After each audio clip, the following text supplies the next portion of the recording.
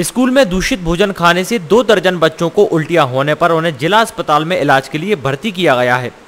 दमोह जिला मुख्यालय से लगे ग्राम मारूताल में स्थित शासकीय माध्यमिक शाला में दूषित भोजन करने के बाद बच्चे बीमार हुए। इस दौरान करीब 60 बच्चों ने भोजन किया था। उन सभी को भी एहतियातन के तौर पर जिला अस्पताल लाया गया है, जहाँ डॉक्टरों ने बच्चों की जाँच की। मिली जानकारी के मुताबिक माध्यमिक शाला मारूताल में गुरुवार की दोपहर की शिफ्ट में मध्यान्ह भोजन के मीनू के अनुसार कड़ी चावल दिया जाना था। जब कड़ी चावल खाने के लिए बैठे बच्चों को कड़ी से बदबू आई तो शिक्षकों ने बच्चों को खाने से रोका, लेकिन तब तक करीब 60 बच्चों ने खाना खा लिया था। इसके अलावा बाकी बच्चों के लिए दिए जाने वाले खाने को अलग किया गया। खाना खाने के बाद करीब दो दर्जन बच्चों को उल्टी आने पर 108 को सूचना दी गई। वरिष्ठ अधिकारियों ने मौके पर पहुंचकर बच्चों को जिला अस्पताल पहुँचाया, जहाँ पर उनका इलाज किया जा रहा है। इस मामले में बच्चों ने उनको खाना खराब दिए जाने की बात बताई। ठंडा खाना आया था, उसकी बात बहुत ही खराब आ रही थी। तो सब बच्चों ने खा लिया था। हम चारों ने नहीं खाया था। हम लोग घर पे चले गए थे अपने अपने और जब दार आती है तो उसमें कीड़े रहते हैं और पतरी पतरी लेती है आज सर वो कड़ी चावल थे सर, और वो कड़ी में बदबू आ रही थी सर।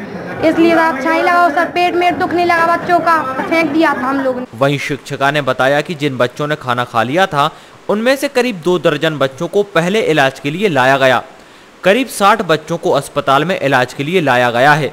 इकसठ बच्चे बैठे थे खाने के लिए। एक कमरे में खाना बटा दोनों खाना का दोनों कमरे में बट चुका था लेकिन एक कमरे के बच्चों ने थोड़ा खाया। जब तक दूसरे कमरों में बट रहा है तो वो देखा तो स्मेल आ रही थी उसमें बहुत ज़्यादा। डॉक्टरों के मुताबिक बच्चों का इलाज जारी है सभी की हालत में सुधार है। अरुदाल स्कूल में शायद खाना खाने के बाद उनको फ़ूड पॉइजन हो गई है। सारे बच्चे कॉन्शियस हैं सेटल है मतलब ऐसी कोई इमरजेंसी मतलब सीरियस नहीं है। और उनका इलाज चल रहा है सभी डॉक्टर लोग लगे हुए हैं नर्स स्टाफ स्टाफ नर्स लगे हुए हैं सबका इलाज हो रहा है कोई सीरियस नहीं है।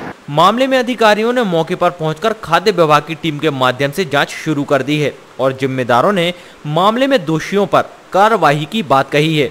जो आज मारूताल के विद्यालय में हुआ, वो बहुत ही दुखद घटना है। जितने भी बालक और बालिकाएँ थे, सबको किसी को उल्टी होने की शिकायत हुई, किसी को पेट में दर्द होने की शिकायत हुई। उन सबको तत्काल ही वहाँ से लोग लेके यहाँ आ गए। डॉक्टर्स की भी टीम वहाँ पर पहुँच गई थी और उन्होंने भी देखा भी मैं एक एक बच्चे से मिला हूँ, उनके परिवार के सदस्यों से मिला हूँ सब स्थिति कंट्रोल में है, सभी ठीक हैं। और हो सकता है कुछ बच्चों को जाना होगा तो अभी निकल जाएँगे, गाड़ी से छुड़वा देंगे। कुल बच्चों को अगर रुकने का डॉक्टर ने सलाह दी तो उनको रोक के फिर कल सुबह भेजेंगे। हालाँकि सभी की हालत बिल्कुल लगभग लगभग ठीक है। और इसके लिए एडीएम दमोह ने बताया कि जिन जो लोग भी इसमें इन्वॉल्व हैं, खाने के, बनाने के, देने के मामले में, उनके उनके जो वो काम करते हैं, वो निरस्त कर दिया है उसकी जाँच के आदेश दे दिए उसके सैंपल भी लिए और जो भी होगा आगे चल के उचित कार्रवाई की जाएगी। सूचना लगी थी आपको क्या मुझे टेलीफोन पर सूचना मिली कि यहाँ कुछ बच्चों को खाना खाने के बाद परेशानी हो गई है। तो मैंने बजाज साहब को फ़ोन किया सी एम साहब को वो भी तत्काल आए उनने मुझे कहा कि मैं भी आ जाऊँ। मैं भी स्थल पे आ गया तब तक जो बच्चे अनईजी फील कर रहे थे खाने के बाद उनको अस्पताल शिफ्ट कर दिया गया सरकारी जो एंबुलेंस और 108 थी उनसे। अभी बच्चे भी खतरे से बाहर हैं। अब खाने में आज कड़ी पकौड़ा था तो हो, हो सकता है कि उसमें कुछ दिक्कत आई उसका फ़ूड सैम्पलिंग लिया जा रहा है औषधि प्रशासन विभाग द्वारा और उसकी एनालाइज कराएँगे। हम बच्चों को लेकर अस्पताल लेके आए हैं। चौबीस बच्चों को उल्टियाँ आई थी। इसके अतिरिक्त जो भी बच्चे और थे वो भी अस्पताल में आ गए हैं। उनको भी सुरक्षा की दृष्टि से यहाँ पे इलाज कराया जा रहा है। माननीय कलेक्टर महोदय और एसडीएम साहब भी घटनास्थल पर पहुँच गए हैं। हम लोगों ने जो उनको भोजन परोसा गया था, जो सैंपल रखा हुआ था, उसको भी कब्जे में ले लिया है और फ़ूड ऑफिसर साहब को उनको अवगत करा दिया गया है। जाँच के बाद ये अवगत हो पाएगा कि ये बच्चों बच्चों जो बीमार हुए हैं, उसमें भोजन में क्या क्या गलती थी, क्या विषाक्त हुआ? तो स्कूल, प्राथमिक स्कूल है, यहाँ पर बच्चों ने मध्याह्न भोजन में खाना खाते ये लोग बीमार पड़ गए थे।